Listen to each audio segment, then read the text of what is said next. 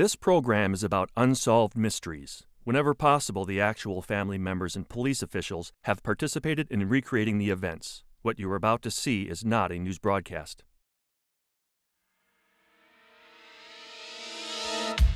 It sounds unbelievable, but many people say that this man has uncanny psychic abilities which enable him to communicate with those who have passed away and comfort those who mourn them. His name is George Anderson, and tonight we will examine his claims and witness an actual psychic session which has surprising results. In September of 1988, David and Cynthia Dowaliby were shocked by the brutal murder of their seven-year-old daughter, Jacqueline. Two months later, their nightmare became a descent into hell when authorities charged them with a crime. Also tonight, a heartwarming update. Thanks to our viewers, a woman has finally found her long-lost brother. Join me for their joyous reunion on another edition of Unsolved Mysteries.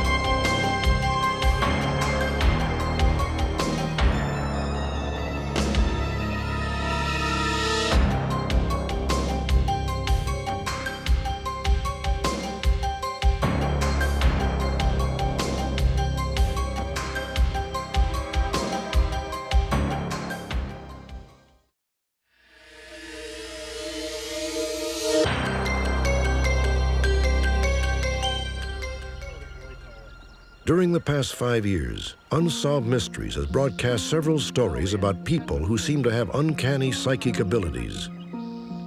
One of them was Dorothy Allison, a New Jersey housewife who had envisioned several clues which helped police locate the body of a young boy drowned when he fell into a rain-swollen creek. Later, we aired the haunting tale of Teresita Basa, a murdered woman who purportedly spoke through a friend to name her own killer. When police arrested the man, he confessed. And finally, there was a story of Coral Polge, a British woman who draws eerie portraits. Her clients say that Coral's drawings uncannily resemble their deceased loved ones, people whom Coral could never have met. What these stories have in common is that no one, not even the most hardened skeptic, has come up with a rational explanation for what appear to be genuine psychic episodes. That is also true of the man you're about to meet, George Anderson of Long Island, New York. He seems to have an uncanny ability to communicate with the spirits of those who have passed on. At times, it does seem, even for me, that I am literally listening to them or listening to, to, a conversation or feeling I'm listening. I don't want people to get the impression it's all like I'm hearing clearly as I'm hearing you right now. It's a feeling that you're seeing, a feeling that you're hearing, a sensation more. It's like getting an electrical charge all through yourself. I was hosting a popular late night radio talk show on a rock station on Long Island where I had been for Joel Martin first heard of George Anderson in 1980. Radio station and the format, we uh, dealt heavily with unexplained phenomena just answer me with yes or no. Don't add any more information than that. Just we'll let the spirits do the work. Martin called George in for a reading. According to both men, they had never met before, and George says he knew nothing about Martin's background. When George conducts readings, he sometimes makes random marks on a pad to enhance his concentration. George himself does not appear in our recreations of his readings, which are based on eyewitness accounts and transcripts confused. He's saying yes, you're saying And no. he started to talk about Shirley, my late wife who had been killed the year before. In 1979, she was hit and killed by a car crossing a street in New York. Do you take the name of Shirley? Sh Shirley? Does that name mean something to you? Yes. Uh, she says you know her. Uh, She's recently passed on suddenly. Uh, yes. She points to her face and, and to her head, uh, pain. Uh, maybe something happened that uh, I'm feeling, uh, the pain is coming through me. I'm feeling pain in the head and the face. She, um, maybe a car accident. Uh, how do, how, do, you know that? Well, she's standing right behind you. no, no, you, you can't see her. I, only I can see her. She's a spirit. She's, she's right there. Yes, stricter. Then he did something that made me realize something legitimate was going on that could not be explained by any, any way that I could reason. She, she's pointing her finger, she's, she's waving it back and forth very quickly, very quickly like that. Stop it.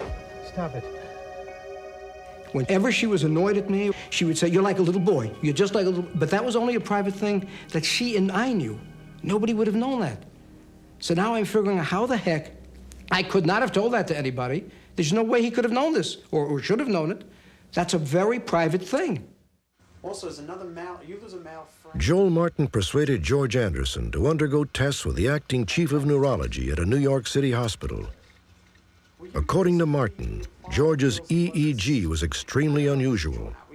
While George conducted a session with an off-screen subject, half of his brain registered sleep, while half showed normal waking patterns. The neurologist who conducted those tests, he said he had never seen anything like it before. And is it what we expect to see? No. Is it what's supposed to happen? No. Is something unusual going on? Yes. Joel Martin had always considered himself a skeptic in matters of the paranormal.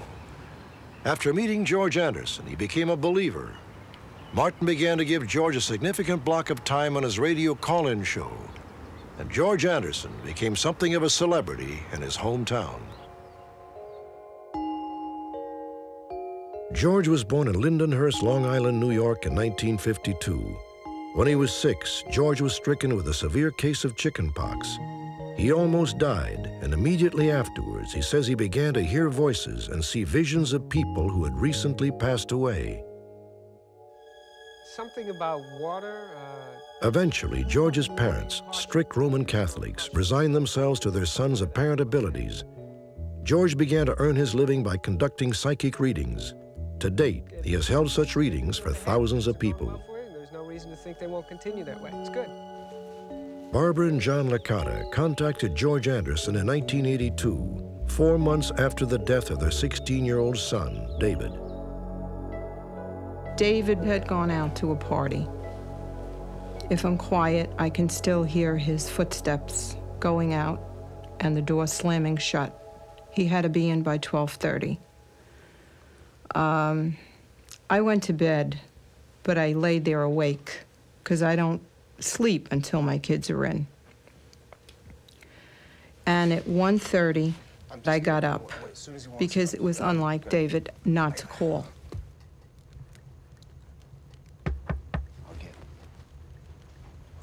David?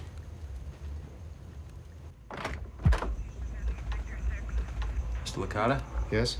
Mrs. Licata? I need to talk to you about your son. And then I knew. It was um, a night of hell. You know, if anybody wants to know what hell is like, that's what it's like. David Licata had been killed by a hit-and-run driver.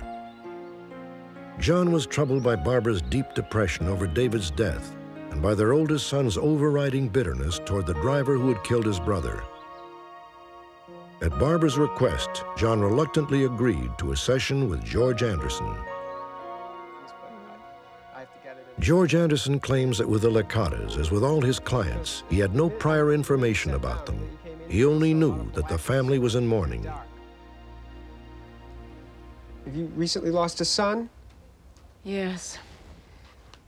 Um, some sort of accident passed suddenly. I'm, I'm seeing, I keep seeing a vehicle of some kind. Yes. He's saying he was at the wrong place at the wrong time. He's uh, 16? Was he about 16? Yeah, he was 16. So he's telling me it, it's very confusing because he's very restless. Was he very emotional? yes. Very emotional. Yes. Because he's, he's talking a mile a minute. I, I can recall their son David coming through very strongly, um, very high-spirited personality, no pun intended, and uh, also very anxious to reach out to his parents to give them and his family the assurance that he was all right. There were a lot of things, very specific pieces of information that came forth in this reading that there was no way that George could have known, because he didn't even know who I was, much less link me to this information. A lot of hostility. He's saying hostility uh, about this. You, his brother, you, your son. Yes. Very hostile, still holding bad feelings. Yes. He's saying, eh, forgive. Got to forgive. Um, if, if he can forgive, everybody else should be able to forgive because he's the one over there. I felt this enormous relief when we made contact with David through George. It was a total relief because um, I felt like you arrived, you're in the other world, you're still alive, and I will see you again.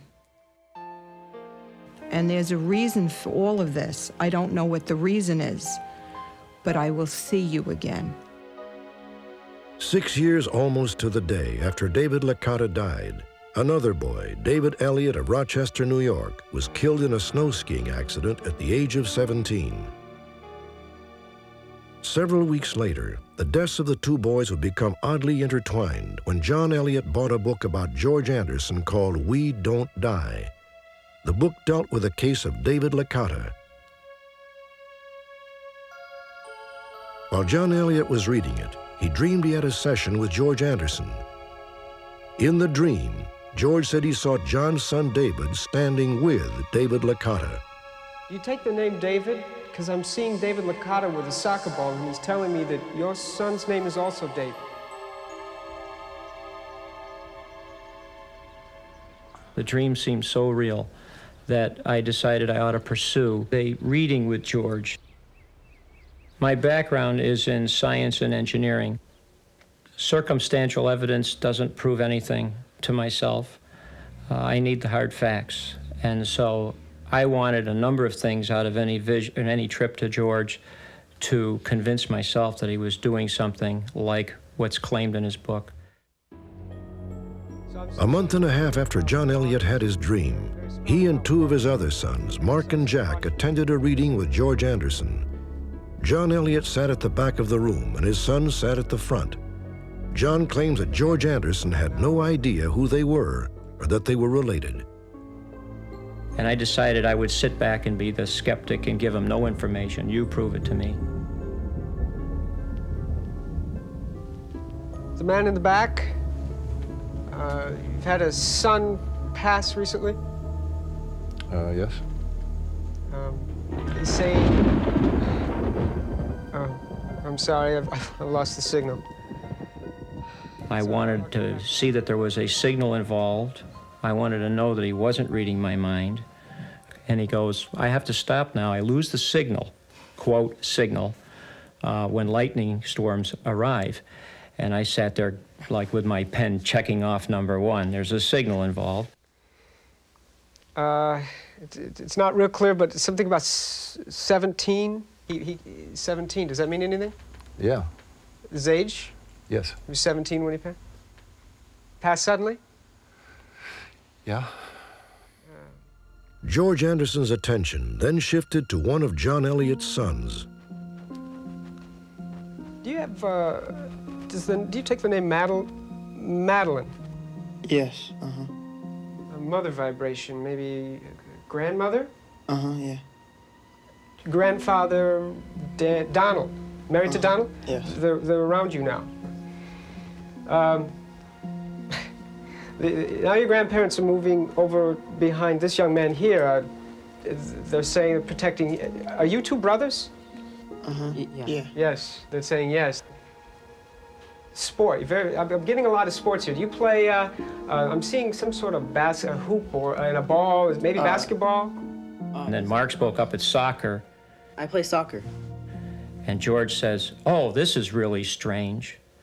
And I'm listening to all this and saying, Now, what could be strange to a psychic? And, what was really strange in my mind is if he's got this vision of a Licata boy with a soccer ball, that would even be strange to a psychic. Oh, okay. Now I understand. Because I'm seeing all of a sudden I'm seeing David Licata is there, uh, dressed in his soccer uniform. I'm seeing David Licata. Uh, he's, he's he's wearing his soccer outfit. He's he's here as a clue. the, the name the name David and and soccer. Um, do, do you take the name of David? Yes. Yes. You're you're David. You're father of these two boys. Yes, I am. And you you've lost a s now it's now he's coming. To, okay, you've lost a son named David. You've lost a brother named David. Finally, he's coming through. I didn't. Boy, that was freak. I didn't know why. David Licata, I, I've, I've, is there? He's saying yes. Now, now your son is coming through. They're talking and almost laughing about. It. He used him as a very clever but very freaky. Uh, uh, your son is coming. I'm sitting there having George relive my dream, and my parents identified, and I would call myself numb. I sat there and was amazed by just about everything I'd asked for happened. Uh, and I came away without being able to doubt him. I definitely have changed my attitude towards a life after this. Over the years, I've learned to accept and believe that David, as well as all the rest of my relatives, are with us all the time. I constantly question it. I constantly say to myself, gee, if this is real, why doesn't it work like this? It should work like this. I should be able to do this. But I can't doubt it just because it doesn't work the way I feel it should work or the way you feel it should work. It's working the way it's supposed to work, and I guess it's easier just to accept it as it is. To satisfy our own curiosity about George Anderson's apparent ability to communicate with the dead, Unsolved Mysteries asked a bereaved family from Queens, the Kenneth Silvermans, to meet with George. As far as we were able to ascertain, George Anderson and the Silvermans had never met, nor did he know anything about them or their son, who had recently passed away. 33-year-old Barry Silverman died last February, the victim of a virulent form of cancer which spread to his lungs. Something is changing within your career. Barry's parents and his sister Joy agreed to a session with George. What you are seeing is an actual reading conducted by George Anderson, shot with multiple cameras. Well, there's definitely two male presences around you, and I'm sure there's two males close to you passed on someplace, so don't say anything. Let me just go with it. Someone also claims to be your dad. Your dad passed also? Yes, because somebody's on your behind you. Does your your father have a good sense of humor? Because he joked. He said um, he doesn't want you to feel left out. He claims your boy is with him. So you obviously must have lost a son because he keeps saying your boy is with me, and I'm sure he passed on as a young adult, but he's still your son, he's still your boy. I hear the name Barry. Um, does the name Barry mean anything yes, to you? That's our son. Barry says the message Barry. that I just gave you. Com- this is how you'll know it's for real that it comes from Barry. Why do I feel as if I lose my air? Does that make sense? Yes. The injury I much. feel is in here. Right. And he said, "You lose your. I'm losing my air." So there's like pressure in my chest as if I'm injured in the chest, but I'm obviously feeling whatever the circumstances are. Were you concerned you let him down? Yes. Because he keeps saying, You didn't let me down, you didn't let me down, you didn't let me down, but he directs it at you more specifically. Because he pointed at you, and he keeps saying, You didn't let me down. I did let him down. Very sensitive, warm guy. He sends his love to the three of you. Because he says to you specifically now when you leave, it's like he's giving orders. He says, when you leave here, you leave here with peace. He says, you didn't fail me. And he says, now you stop feeling guilty. And he says, you let that go and put your heart at rest. He says, because he's all right, he's at peace. Until we meet again, go on with your lives. Try to be as happy as you can be. Until we meet again, know that you'll be with me again. One thing about him, he's honest. You hear from him, you'll know it's for real. And with that, he withdraws with the others, pray for us until we meet again, and there they go. Okay, you can relax. Away they went. I feel a lot better. I really do. I feel that Barry's really with us, and, and you know, we'll be together someday. And, uh, you know, that doubt is, you know, human beings are funny. I guess you never get rid of it completely, but I feel much more convinced. I am just so relieved to hear that he's not suffering and that he's happy. And I do believe he spoke with George Anderson, and there's so many things that he has told us that were so true that I, I feel so much better. I, I feel very relieved. I'm still skeptical. I'm still have my days where I'll walk upstairs and I'll call my best friend in New York City and I'll say to him, ah, this stuff's all a bunch of bull. I don't know why I keep doing this. But then that's few and far between. Then there are the times where you know something is happening that you cannot explain. Plus, when you see the effect it has on the people in a positive way, where it helps them, I guess it's my job to mind my own business and stay out of it and just continue to be the instrument and let the person receive what comfort comes from it. And that's what I try to do. As much as we might want to believe in George Anderson's abilities, our rational, logical minds tend to discount them. Still, after seeing George Anderson in action, one might speculate, to paraphrase Shakespeare, that there are more things in heaven and earth than are dreamt of in our philosophies. Next, the tragic story of a couple charged with the murder of their own daughter, plus an update in which our viewers help close a case.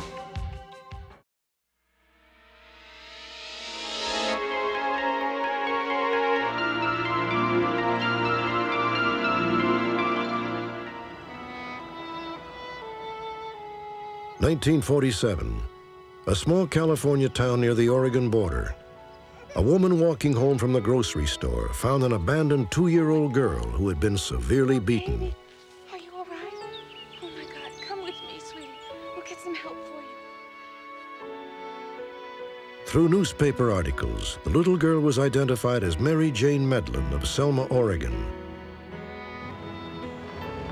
Police arrested Mary's mother and her boyfriend on charges of child abandonment and assault with attempt to commit murder. Both were sentenced to 20 years in prison. Mary, her older sister Leoma, and her baby brother Jimmy eventually became wards of the state and were placed with different families. In 1991, Mary finally found her sister Leoma.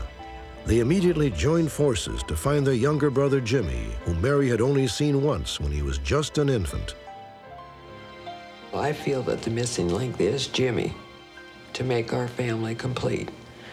And I would like to know where he is, what happened to him, what kind of a life he has, and like him to know that we're here and, and that, that we're his sisters.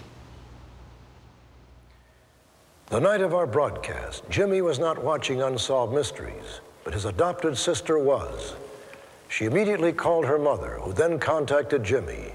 His name is now Donald Barrow, and he was just as anxious to meet his sisters as they were to meet him. Two weeks after our broadcast, Donald and his family drove from their home in Fresno, California, to Mary's home in Placerville. Donald, Mary, and Leoma had not seen each other in 45 years. You must be Donald. I am. Uh-huh. Oh, oh we didn't God. think you were gonna make it. Oh, we. Oh. The one thing that I was concerned about is was it going to be okay? God, you look so There, good. there is a resemblance. Hmm. And I knew when I met him out at the car that it is okay. And I am so happy.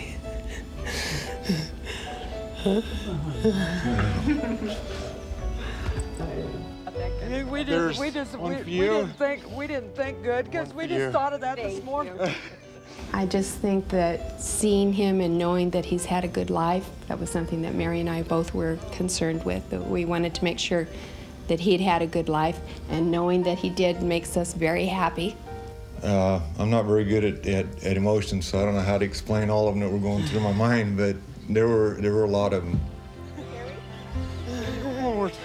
and uh, there still are. I didn't think it was ever.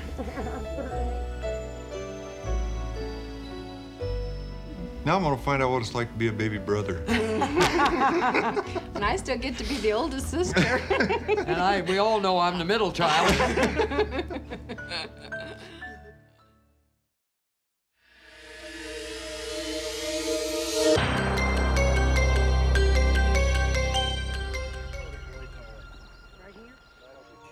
September 10, 1988 began as an ordinary Saturday morning in Midlothian, Illinois.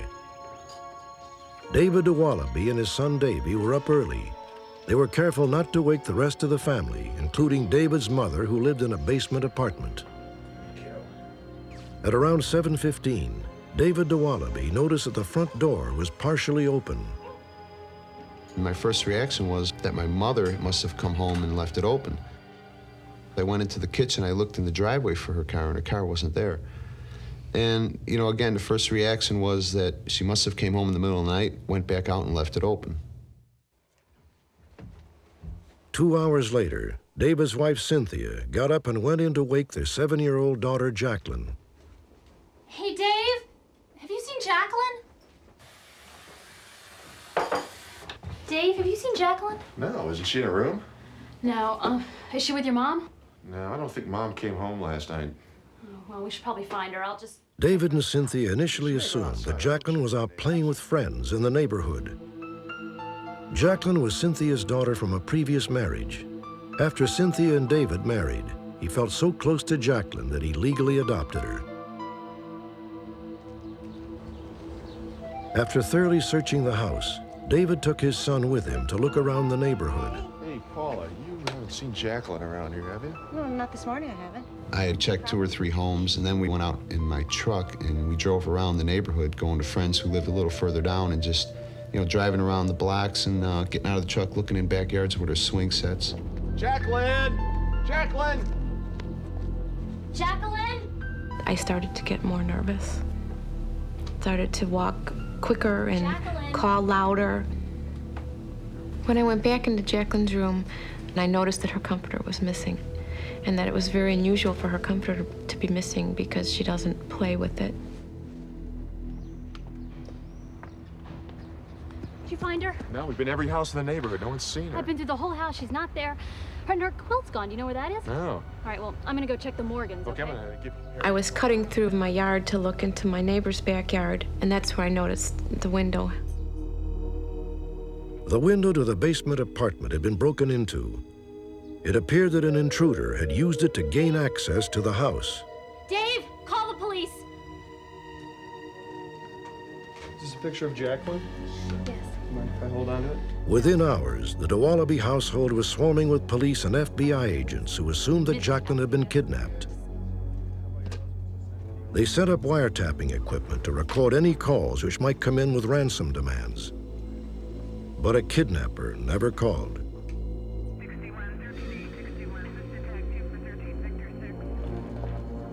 Four days later, Jacqueline's body was discovered in a vacant field in the adjacent community of Blue Island, Illinois. Found at the scene were the comforter from her bed, her nightgown, and a 26-foot length of rope which had been wrapped around her throat. It is difficult to imagine a parent's agony upon losing a child. But imagine the additional horror of being accused of killing your own daughter.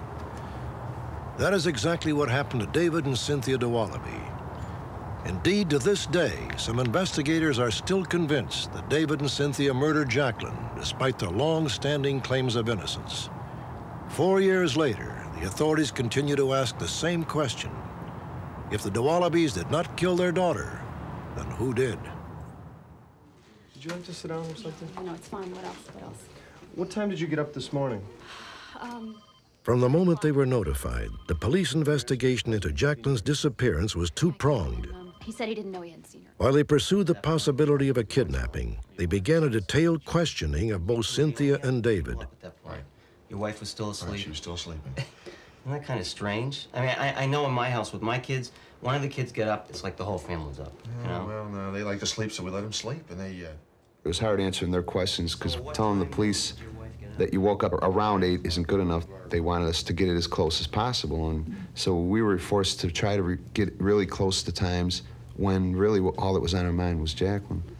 I didn't want them asking me questions, although you answer them as you're walking past them and pacing, but it was just totally chaotic. And the repeated questions of what did you do in the morning, it seemed so senseless because I said, you know, where's my daughter? Just find Jacqueline. That's all I wanted them to do. Yes. All of her Yes, we did all this. I know they'll tell you that they felt as though they were being harassed and being accused. I think any reasonable individual's got to got to understand that you're in the house, your daughter's missing, you're a suspect. Investigators naturally directed their attention to the basement window. Shards of glass on the uh, towel rack. Initially, they believed that the window had been smashed by someone on the inside to suggest that an intruder had broken it to gain entry. Do people call you David? Yes. Are you over 21 years old? Yes. On Sunday, September 11th, the day after Jacqueline disappeared, David agreed to take a polygraph test at FBI headquarters in Chicago. Did you help her plan with anyone to cause Jacqueline's disappearance? No. Please remain facing the front. Did you help her plan with anyone to cause Jacqueline's disappearance? No.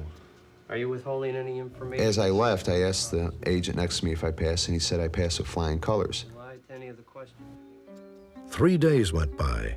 The police still had no leads to Jacqueline's whereabouts.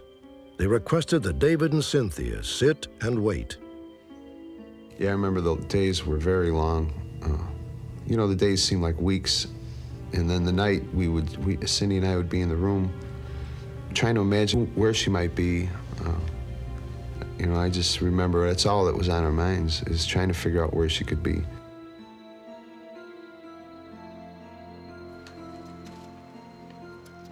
On the very day Jacqueline's body would be found, David Dowaliby was asked to take a second lie detector test.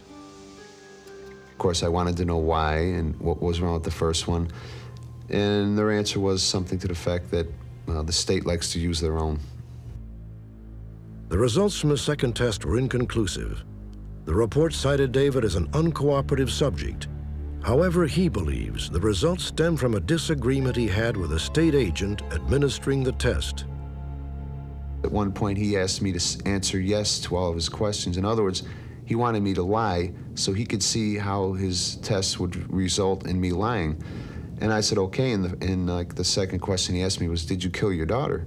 And he wanted me to answer yes to that. And I, I told him I can't do it. And he got into a little argument he was turning red in the face. And, and he said, we have to do it this way. You have to, you know, lie. And I don't mind telling him my name is not Dave, Dave Dowaliby. And I don't mind some things, but I told him I, I can't say yes to a question like that. And uh, he, it, it upset him. After the second test, David was interrogated for another five hours.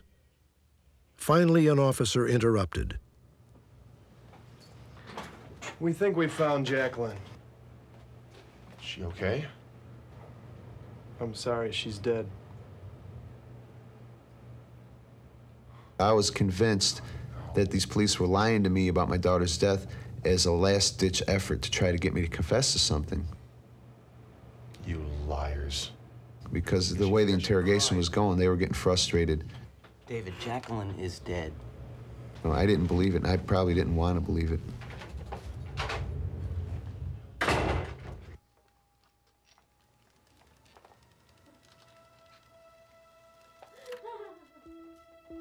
When David returned home and saw his wife and mother, he knew the police had told him the truth.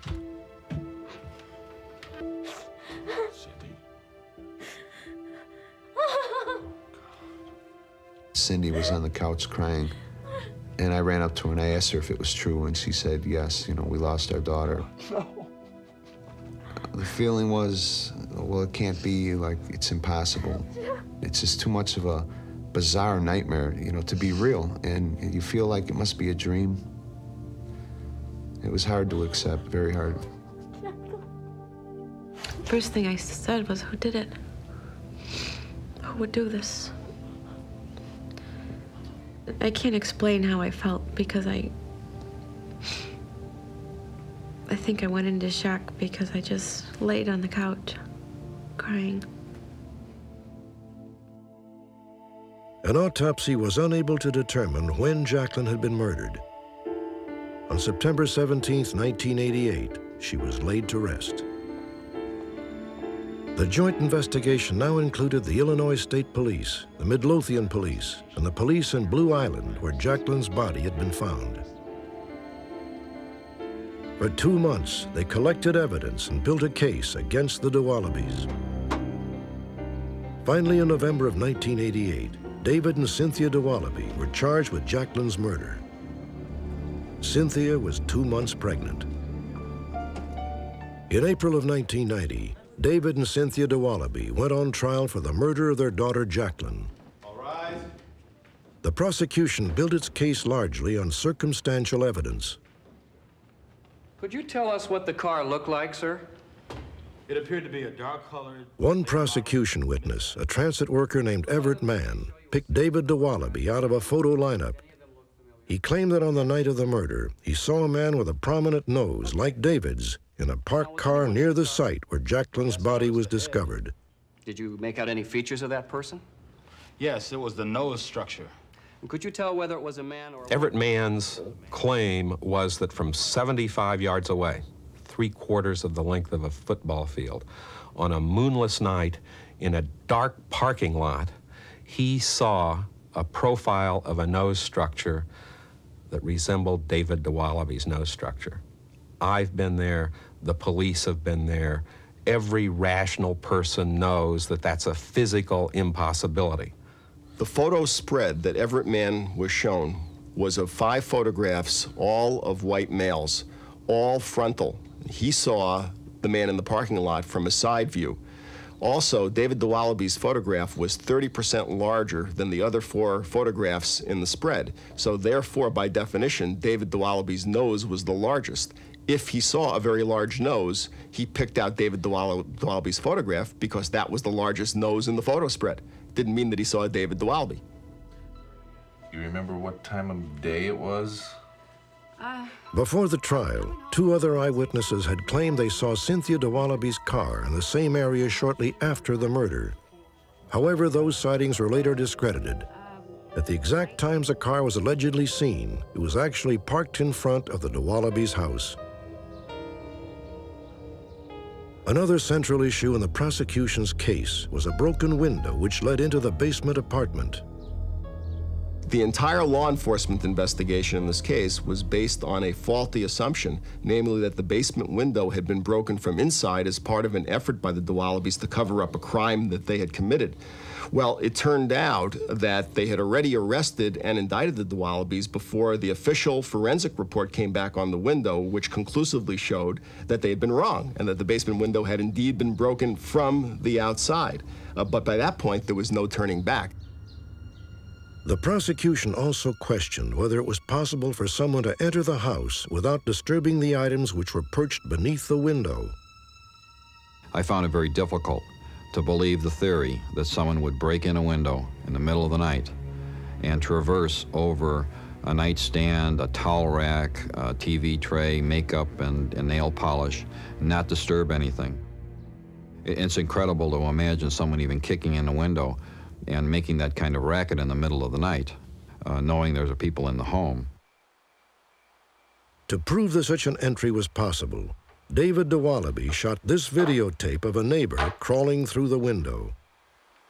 The prosecution was telling the judge and the media that if someone were to come in, they would have to step on this towel rack and bend it. So we put the towel rack under the window, and we had my neighbor crawl in while we were shooting it with a camera. And what happened is he slid in on his belly, and right before he got to the towel rack, he, he wedged his foot on the wall and held himself out, hang, hanging off the uh, window ledge. So we proved it to ourselves, and we tape recorded it so that there was, if there was a chance, we could prove it to others. I ask that the indictments against David and Cynthia Dowaliby be set aside for a The Dowalibys never testified on their own behalf. Before closing arguments, the judge addressed attorneys from both sides without the jury present. Now, it's my position that there is sufficient evidence for David Dowaliby's case to go to the jury. As to Cynthia Dowaliby, and as a legal matter, I'm ruling that there is insufficient evidence for her case to go to the jury.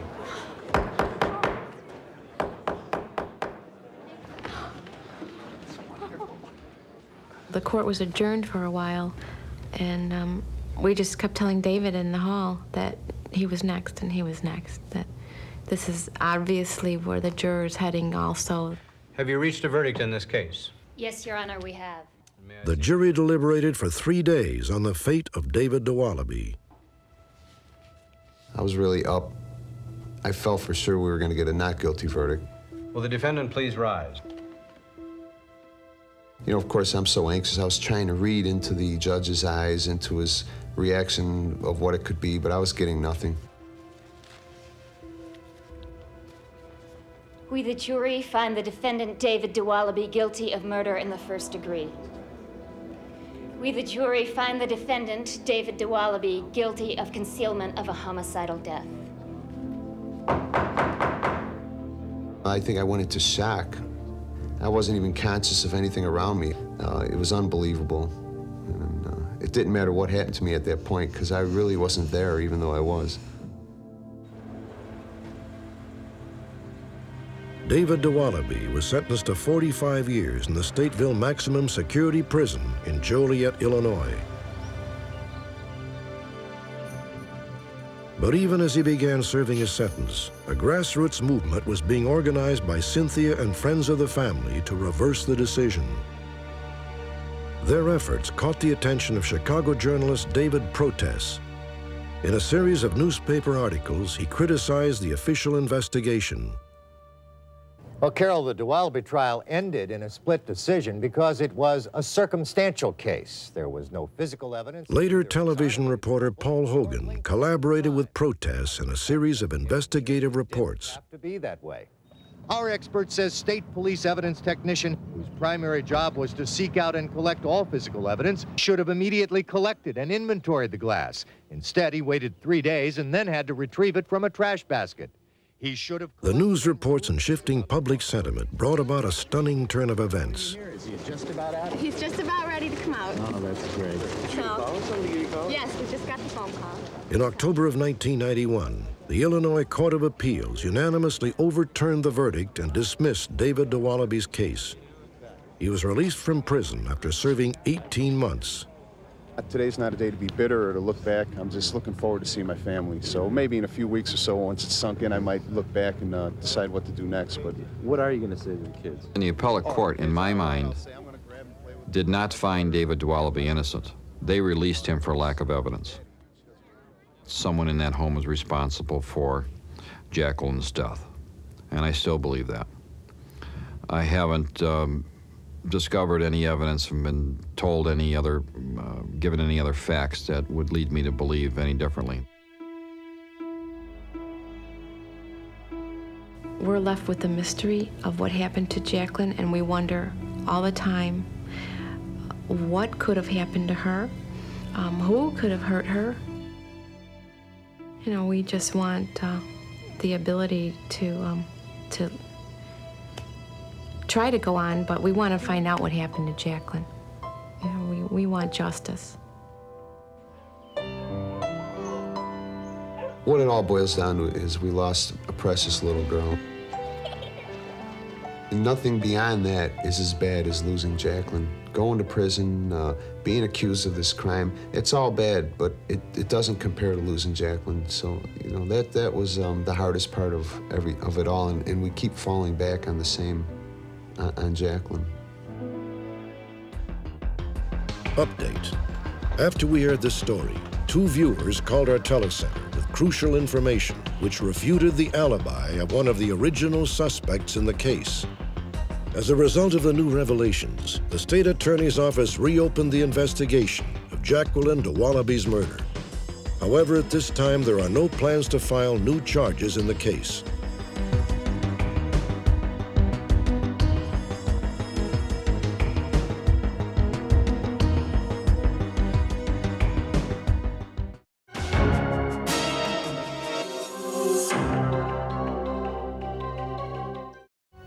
Me next time.